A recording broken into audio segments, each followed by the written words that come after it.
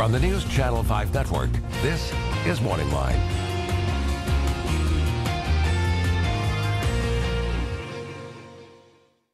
Gold. Good morning, everyone. Thanks for joining us on MorningLine. Nick Beres here. It's live and direct. Sorry, uh, we had a tape show, I think, yesterday, didn't we? Because I was feeling under the weather, but I'm back now. Not that I was sick, but I have muscle aches and pains, and I have a hernia. Okay, I'm sharing that for you despite the fact there are HIPAA laws. I don't care. I'm going to be up front with you, and it was kind of sore, but the doc says I'm going to be okay, so I'm back at it today, and and it's nice that we have today not doing open phones today, but it was the show that was scheduled for yesterday going today. Our guest was kind enough to reschedule for us, and uh, it, it kind of ties in with exactly what we all deal with, what I'm dealing with, be it you know health issues. Um, seasonal time changes do you feel more run down she was telling me that come winter time don't push yourself necessarily the way you do in the summer. Now's the time to hibernate. Apparently, the Bears have got it right. All right, we're going to get into it this morning talking about living the healthy lifestyle, especially as we approach the end of the year. Maybe you have New Year's resolutions. Maybe you're struggling with how to deal with getting through all of this great holiday food. 737 7587. Health coach Holly Ladd with us this morning. Hello. Hello. Good have morning. you ever had a hernia? I've never had a hernia. You never have, and you don't want one. Knock on wood. Don't want one. Mine's very small, but it was Mm-hmm. aching a bit, and you know, they just you got to take it more easy. And Absolutely. I'm gonna, you know, I've never, I don't know, are you someone who's ever worked out to any degree, or you try to exercise? I've never been limber, and I hated stretching, but now I'm gonna start doing the stretching. It's never too late, right? Never. And I'm gonna get into yoga. Right on. Good. I mean, and and yoga, you know, I suppose. Do you have you done some yoga? I mean, Absolutely. yeah. it's it's not necessarily meditation, even though that can be part of it, Mm-hmm. and shavasana at the end. But um, it's, it's it's mostly stretching and It's everything. It's strength, flexibility, meditation, breath. I mean, to me, yoga is. I unfortunately.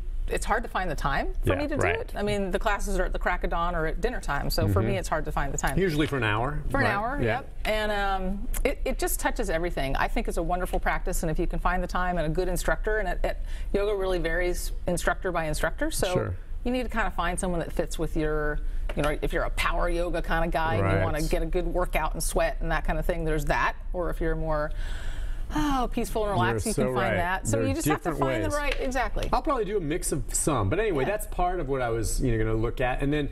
I was also telling her, you know, I I know several people this time of year maybe don't have the flu or don't necessarily have a full blown cold, but just feel a little bit more run down sometimes as the temperature changes, as we move into less daylight Mm-hmm. and all of that. And you feel run down. And your thinking is times change in the winter compared to the summer for you. Yeah. In terms of how much you push yourself? Yeah, I mean, if you look at sort of um, our ancestors and, and sort of historically, as we go back to sort of the Paleolithic era or hunter-gatherer era, the winter was really a time of shutting down. I mean, it was cold. Right. They didn't have heat. They didn't have you know Gore-Tex. They didn't have down. Um, you know, they would hang out with their animal hide and just kind of hunker down. They didn't have a lot of food for energy, so they couldn't expend a lot of energy. Sure. So it was a more, it's a sort of, um, it's in our DNA that it's a time of year where we should kind of just relax a little bit more. It's a season to reboot and then get ready for the activity of spring, summer, and fall where we're very active.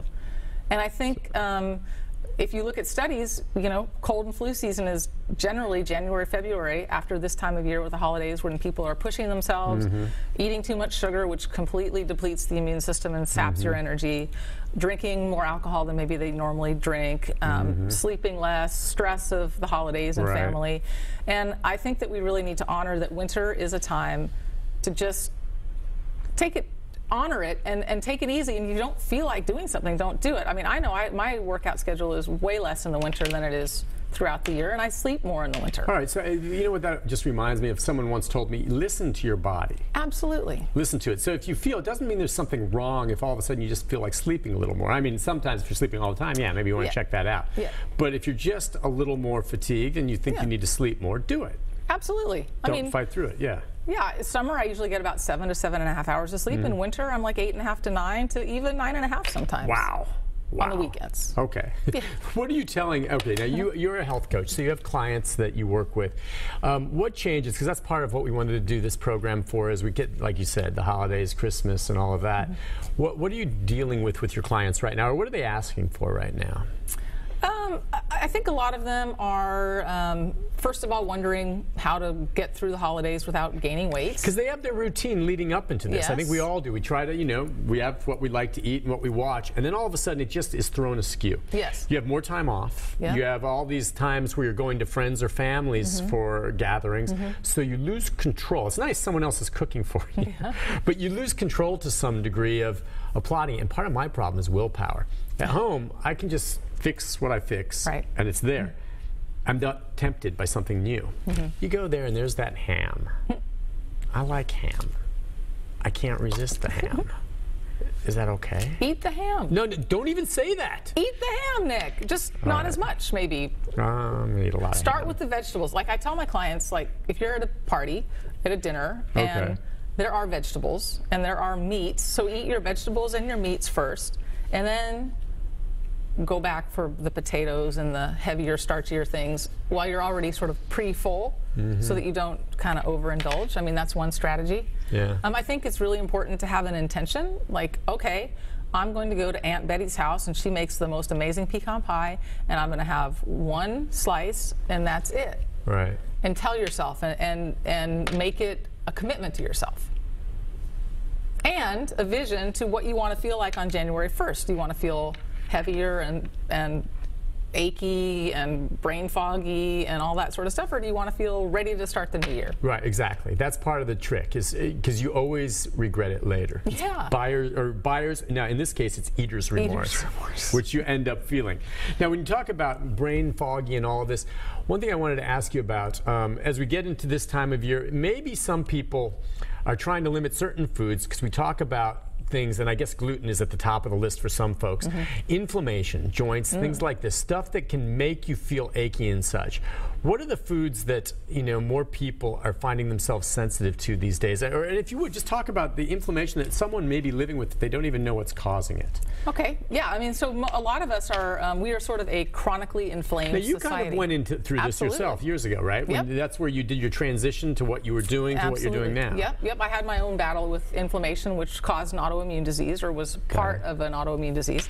And, you know, as a society, because of our diet and our lifestyle, we are sort of chronically inflamed. And, it, and there's, it's not like a sprain your ankle or wrist kind of inflammation where it gets red and puffy.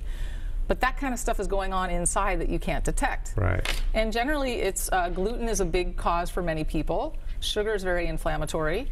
Um, You're talking about like processed sugars or yeah, refined Okay. sugar, white Yeah. sugar, that, Yeah. that stuff. Um, and, and sensitivity. So, if you, most people, the most common food sensitivities are corn, soy, Corn.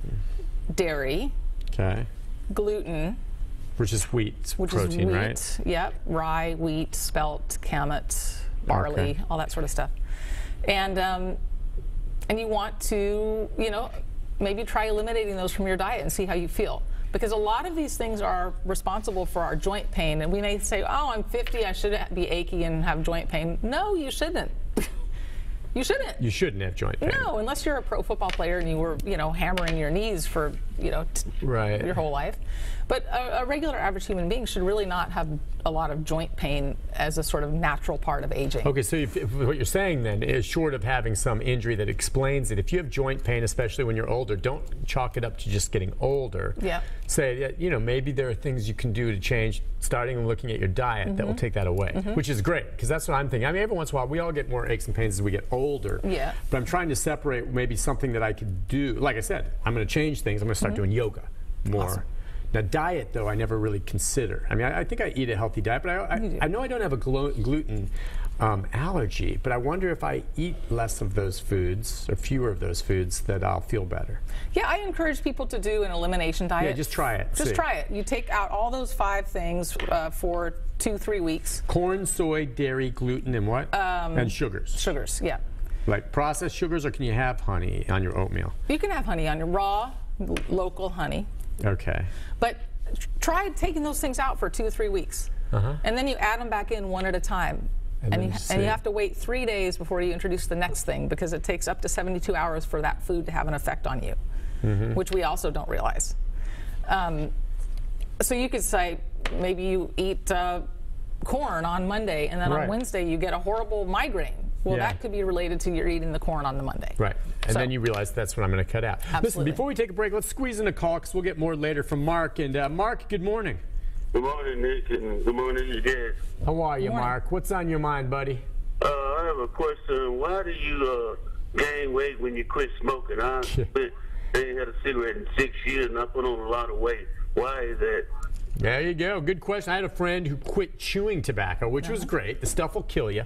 And the the one byproduct of that was that he, his appetite mm-hmm. came back big time. It's almost as though the tobacco took away his appetite. I don't know if it's the same way with smoking, but yeah, a lot of people complain about after they quit smoking or chewing, they find themselves gaining weight, eating to compensate. What do you think? Um, well, I mean, I, I don't know sort of chemically if there's something that happens with nicotine or whatever to your Mm-hmm. Yeah. metabolism, but I do know that a lot of people that quit smo- smoking is something to keep you busy, something to keep your mouth busy. Right. And they start just snacking and eating more. Um, and maybe craving Right. saltier foods. I'm not I'm not really sure, but it does happen to a lot of people. And the people I say just are like, I need something to do, so I eat. So I guess if, if you're feeling that craving, the way to fight it would be if you're going to eat, then maybe just watch what you eat. Uh, it's, it's what you're eating. I mean, I, I, that's that. That was my friend's thing. Was look, my appetite came back. In fact, I had a friend who wanted to lose weight, who started chewing, if you can imagine, and it, it did. He said take away some of his appetite, but then he got one of those white lesions in his mouth. You know what? Mouth cancer ain't worth it. No. And so he, he came back off it and found other ways to lose weight, and there certainly are healthier ways to do it. But um, all right, for, so for someone like that, I mean, he put on the weight after smoking. The last thing you want him to do is to go back to smoking. Absolutely, and, and sort of have to figure out why am I smoking in the first place? What is it that it's doing for me? I mean, other than sort of the high that you get, the chemical, you Right. know, that you get from the nicotine and, and all, whatnot, and maybe it's um, going for a, walk, a 10-minute walk instead of eating something, or drinking some water instead of eating something. I mean, it's um, just plugging in an alternative, a healthier alternative to why you would have a cigarette. Yeah, and so you just have to evaluate that and see if there's something that, as soon as you get that craving for a cigarette, that you can grab something else. Yeah. Or you know, you're and, and the craving's going to be, I want something. That's why you're eating instead. Mm-hmm. Um, you know, celery sticks. Everyone's out of celery sticks. By the way, I was. At, is there any food? And I, I think I asked you this before that you consider to be calorie neutral. What I mean by is it takes more energy to digest it than the nutrition you're getting from it. celery would be about as close. I don't know what kind of nutrition's in celery, but it has to because it's roughage. Takes some energy for your body to digest it. So, is there any food you can eat that actually makes you lose weight? Maybe lettuce. I, you know, I. Um, You know, what I'm talking about is something that has absolutely zero nutrition, but is fibrous, so your body has to work to digest it. Mm-hmm. I would think celery or lettuce would be the two options, but who knows? Uh, yeah, I mean, you know, even celery and lettuce have beneficial phytonutrients and minerals and Sure, at the uh, base levels, you know, but so- hardly any calories. hardly any calories. Yeah. You could eat a huge, huge bag of celery every day, and, and I challenge you to eat 700 calories of celery. It would be impossible. It would. Think about it. So, and you can eat 700 calories of chocolate chip cookies with two cookies. Or a soda. Boom. Or, Done. or you know, Rick likes the corner of the brownies. okay, but Yeah. I personally, you know, he he likes. Do you like the fillet, Rick? Love the filet. He loves the fillet. That's the middle of the brownies. All right, listen, on that note, we're going to take a break. We'll come back. Take more phone calls 737 7587. Holly Ladd's with us. She's our health coach. If you have questions, we can get into vitamins, we can get into you know joint pain, we can get into your holiday season issues, and whether or not you think New Year's resolutions are a good idea one way or the other. You can set them, but can you stick to them? We'll be back with more right after this. Stay with us.